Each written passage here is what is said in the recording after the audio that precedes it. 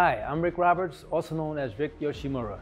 I have over 40 years of boxing experience, 20 years as a professional, and within that time, I have become lightweight and super lightweight champion of Japan.